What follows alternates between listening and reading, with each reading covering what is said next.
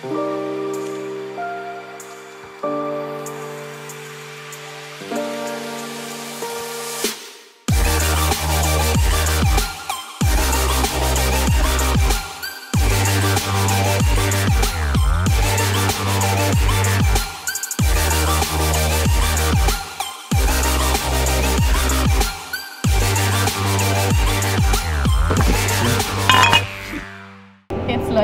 Also, starten wir, oder?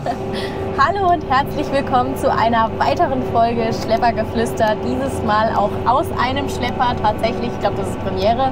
Davor war es nämlich immer im Drescher.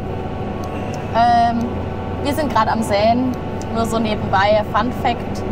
Ähm, genau, wir machen noch ein bisschen Winterweizen im Boden. Und das Motto von unserem Schleppergeflüster ist, oh, zu schnell durch die Folie fahren, dass der alte Kreuzschmerzen kriegt.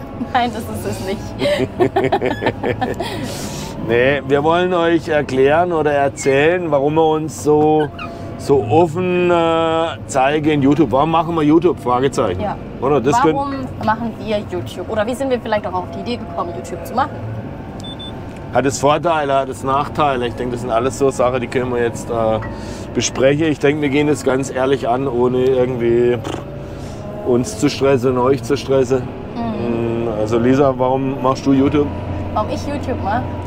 Oh, das ist eigentlich, ähm, finde ich es ein gutes ähm, Medienportal, so ein bisschen Aufklärung zu leisten und euch auch mit in unseren Alltag zu nehmen. Gerade in den äh, Farmvlogs, das macht eigentlich auch echt Spaß. Am Anfang war es so äh, bisschen ungewohnt, sag ich jetzt mal. Da war es auch, wo man sich selber noch nicht so kannte, dass man auf einer Kamera reden konnte, weil man hat ja irgendwie trotzdem mit sich selber gesprochen, auch wenn es später dann Leute sehen. Aber wenn du dann im Schlepper saßt und dann oder so ein Stirnband aufhattest und dich jeder gesehen hat, der hat halt irgendwie komisch geguckt so. Und warum machen wir YouTube? Ähm, irgendwie ist Lukas drauf gekommen. Also ich mache es auf jeden Fall aus dem Grund, weil mal einfach der schönste Beruf der Welt und der wichtigste Beruf der Welt ist nämlich Landwirtschaft. Weil ohne Landwirtschaft ist alles nichts. Ne? Also wenn man kein Essen mehr produziere, keine Lebensmittel mehr an der Boden kriege, geerntet kriege, dann ist nämlich alles aus. Und das müssen wir uns zu Auge halten. Dann können wir ganz tolle Autos bauen, wir können alles super, super machen. Die tollste Windräder aufstellen und Bioenergie und alles, was man sich so vorstellen kann. Ja? Und, äh, aber die Landwirtschaft macht es letztendlich aus. Sie produziert Lebensmittel. Und den Beruf habe ich mir ergriffen und ich finde, das ist der tollste Beruf, den man eigentlich ergreifen kann. Und um das einfach zu zeigen, was man da macht, wie setzt sich das zusammen? Früher war äh, 98 Prozent der Bevölkerung mit Landwirtschaft irgendwie betroffen. Irgendwie haben die was geschafft auf der Landwirtschaft. Und heute ist es genau andersrum. Ich glaube, 98 Prozent hat nichts mehr mit Landwirtschaft zu tun. Ziemlich. Ja, und von daher denke ich, einfach denen klar zu machen, hallo, wir haben den wichtigsten Job der Welt. Ja, Also wir vielleicht haben- noch Todegräber würde man jetzt noch irgendwie hinkriegen, ist auch wichtig, ja, muss auch gemacht werden. Ne? Es gibt viele Berufe, die auch gemacht werden müssen, so. aber Landwirte sind äh, in dem Sinne so weit, dass sie einfach, wie du sagst, ein Lebensmittel produzieren, was halt, wie es im Wort schon heißt, Leben benötigt. Bei mir kannst du mal produzieren, ist der letzte Job der Todegräber. Oder wir kaufen alles in Europa, ne? kann man auch, aber wir reden jetzt von allen Landwirten weltweit. Ne? Also Ja. wenn die jetzt alle morgen aufhören, Wer macht's dann? Ja, wo, wo kommt das Ganze her? Ne? Also meine, man kann sich ja vorstellen, dass man vielleicht nur eine Zeit lang daheim gegartet hätte oder so. Ja? Aber ich denke, es wird schwerer. Also wir haben einen tollen Job und über diesen tollen Job einfach zu zeigen, was man da macht und vor allem, wie man das heute macht. Man kann das ja heute auch nicht vergleichen. Wie, wie, ich habe die Zeit noch erlebt, wie man in den 80er äh, produziert hat. Ja? Was es da für Schlepper gab, was da wichtig war, wie das alles anfing. Heute fahren die Schlepper ja eigentlich autonom, was wir jetzt im Moment gerade machen. Ne? Hier läuft es alleine eigentlich. Ein bisschen äh, entspannter, wenn wir hier nebenbei noch ein Schleppergeflüster aufnehmen.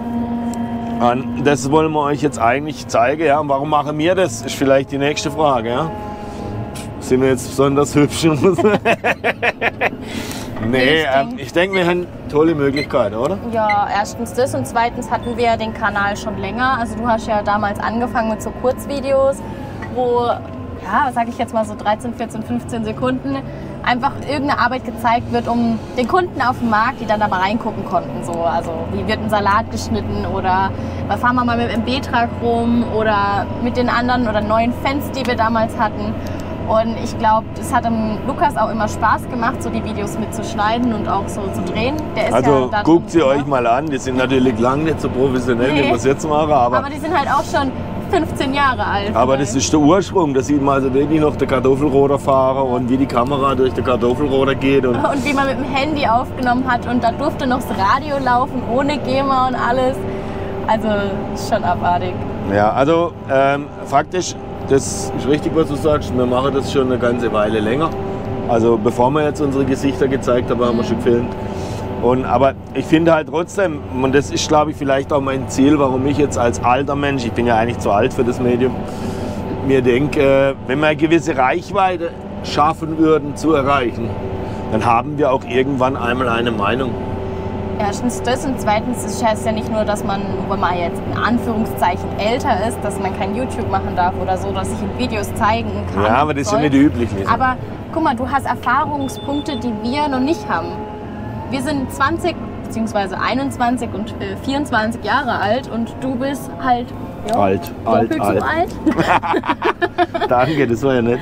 Ja, von dem her, du hast halt äh, Erfahrungspunkte, die wir noch gar nicht haben. Und ich glaube, die wir jetzt auch innerhalb von zwei Jahren, die wir jetzt YouTube oder weiß was ich was, den, den Hof jetzt haben, beziehungsweise machen. Also ich mache es jetzt vier Jahre, Lukas schon äh, seitdem er klein ist eigentlich.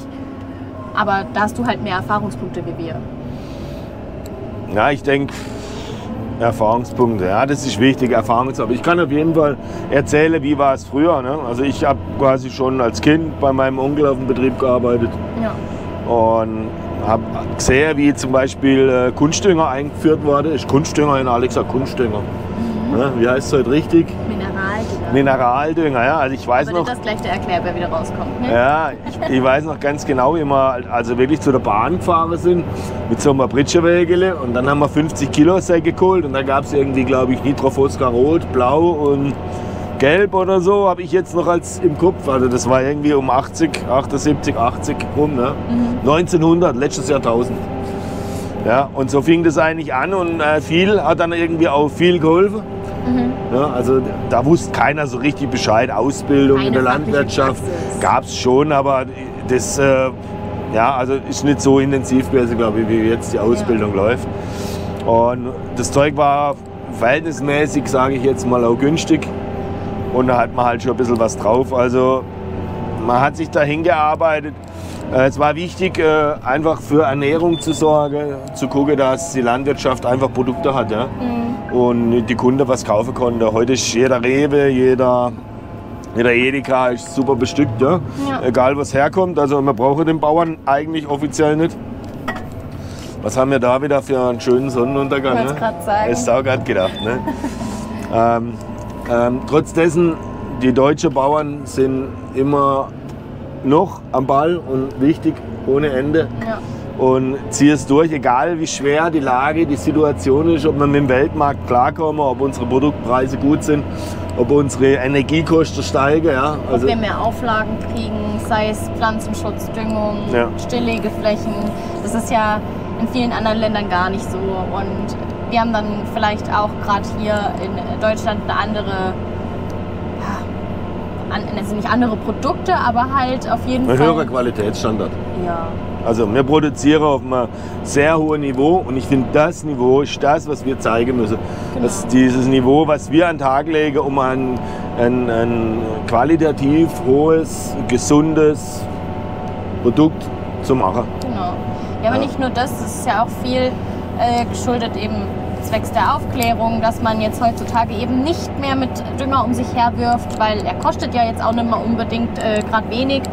Und man zeigt halt auch den Alltag in, im Sinne von äh, einer guten fachlichen Praxis, also wie man mit den Dingen umgeht, wie man mit Maschinen umgeht. Und ich finde gerade dieser Aufklärungszweck oder Punkt ist auch ganz groß geschrieben bei uns auf unserem YouTube-Kanal, einfach weil wir halt offen sind. Wir zeigen ehrlich, wie was ist ja, wir sind auch Ausbildungsbetrieb. Ich meine, ja. wir müssen auch letztendlich für diesen Beruf werben, damit noch genug junge Menschen Lust haben, auf das zu machen. Ne? Ist wichtig und das sehen die jungen Menschen, die unsere Videos gucken, halt auch ne? und sagen, Mensch, das Kinder, äh, ich kenne es aus dem LS, ne? Ja. So, die machen das in das echt. funktioniert ja wirklich in echt, so nach dem Motto. Ja, genau. Also von dem her, Also das ist wichtig und für mich ist irgendwie halt auch dieser Reichweitengedanke, wenn man es wirklich schaffen würde, einen Kanal äh, auf die Beine zu stellen, der richtig Reichweite hat, dann hat man irgendwann auch mal eine Meinung. Ja. Wenn man dann die Meinung kundtut, dann kommt die letztendlich auch bei vielen Tausende von Leuten an. Wenn wir jetzt unseren Kanal nehmen, wir haben jetzt auf unserem Kanal, wir haben gestern geschaut, über zwei Millionen Klicks. Die, die, also zwei Millionen haben unsere Videos angeschaut. ja. Ja, vielleicht haben wir selber unsere Videos auch ein paar Mal angeguckt, aber zwei Millionen ist schon eine ganz schöne Hausnummer. Ja? Wenn, wenn Über man alle Videos halt. über alle Videos, genau. Und wenn man jetzt denkt, wenn wir waren auf der AG Techniker und dann gedacht haben, mit unseren knapp 4000 oder so Abonnenten, kein Schwanz kennt uns, Ja. ne? haben wir wirklich Leute gehabt, die uns auf die Schulter geklopft haben und gesagt, hey, ihr seid doch gut so. Also das sind Sachen, die freuen uns natürlich brutal. Ne? Und dann zeigt es halt natürlich auch, was wir von unserer Arbeit bis jetzt geleistet haben, dass uns tatsächlich jemand erkannt hat auf einer Agrarmesse, die weltweit rum ist. Da waren ja wie viele Menschen? 470.000 Menschen. 470.000 und uns haben tatsächlich welche erkannt. Also klar, wir sind auch mit Pullis rumgelaufen, wo ganz fett groß unser Name drauf stand, aber es hat uns tatsächlich jemand angeguckt und es waren dann auch Abonnenten, die uns äh, angesprochen haben. Und das ist dann halt natürlich echt cool zu sehen und das freut einen total, weil man dann sieht man halt auch, was aus seiner Arbeit geworden ist im Endeffekt. Also klar, jedes Video sieht man und dann weiß man, was man da produziert hat, aber halt, dass auch wirklich Leute da hinten dran stehen. Ja, das Feedback auch über jeden Kommentar, der kommt. Ne? Ja. Also ist auch toll. Also freut uns jeder Kommentar, der drunter steht.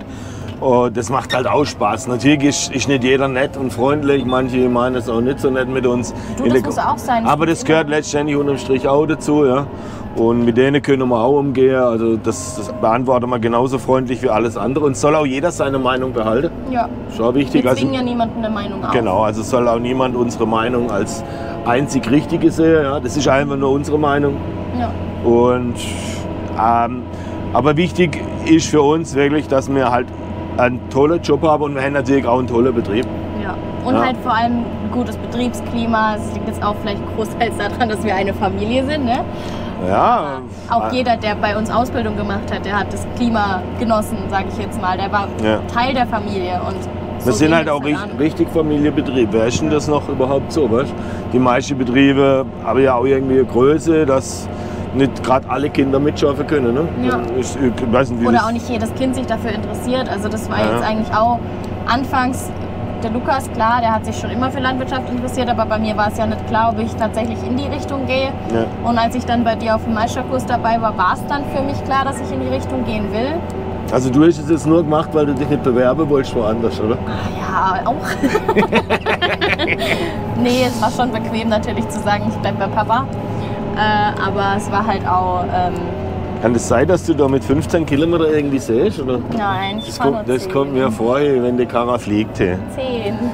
die Bahnen sind kurz.